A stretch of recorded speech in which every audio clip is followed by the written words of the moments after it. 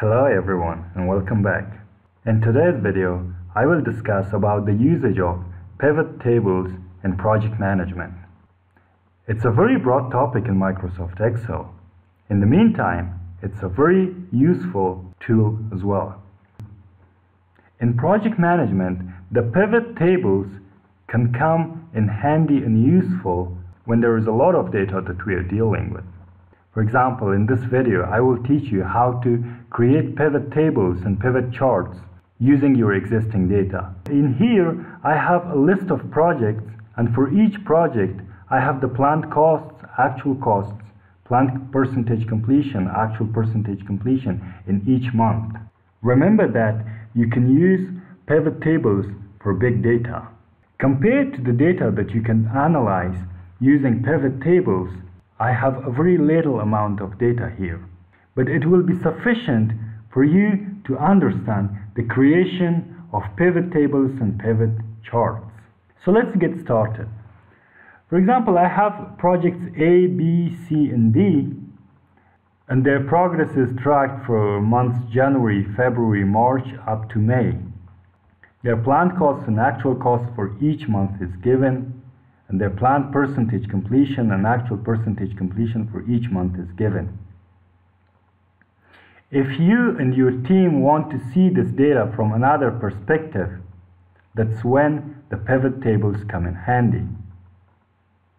In order to create a pivot table, select all the table including the headers. Then go to Insert, go to Pivot Table, click Pivot Table from the drop-down menu. We have pre-selected our table and range. If you haven't selected it, you can select it from here by clicking to that point and selecting all the area up to here. Click this. Next thing they are going to ask you, choose where you want the pivot table report to be placed. New worksheet, existing worksheet. Let's say new worksheet. Click OK. So at the first, something like this will appear until you choose fields from here to be represented in your report. For example, I am selecting the project name and bringing it to row label. So my projects will be shown in rows. Next, for example, I'm taking the months. So the values for each month of each project should be shown to me. So now, which values do I want to show in my pivot table? For example, I have planned costs. I'll drag down planned costs to the values here. I have actual costs. I'll drag them down to the values here. Here, I have the pivot table. Each project, the months, and the sum of planned costs, sum of actual costs, and everything is shown. In here, if you select, for example, only project A, okay, you can see only project A. For example, if you go for project B only, you will see only project B. In the meantime, for example, you want to go to months and see the expenses only for month January, it will show project B for January. For example, I want to see all the projects for January. From here, I will select all the project names and OK. So for January month, it will show you the expenses for all the projects, the sum of planned costs in this month and the sum of actual costs in this month. Next thing is, for example, I want to see the months on my timeline on the horizontal axis.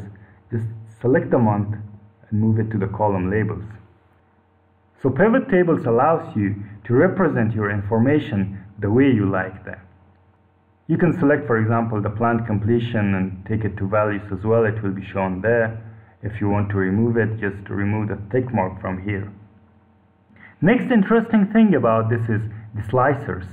For example, let's insert slicer. Slicers for what do you need? For example, I want a slicer for my project name and then I want a slicer for month name. I'll take both of them and click OK. So these two things appear. what do these buttons do? For example, if I select only project A and all the months are select, it will show the amount of expenses only for project A throughout from its start till its end. For example, if I select all the months, all the projects, and select only month February, it will show it will show the expenses for all the projects only in the month of February. So this is what slicers do. If you want to create dashboards for your project or portfolio program management, these will come in handy. Next thing in pivot tables is the pivot charts.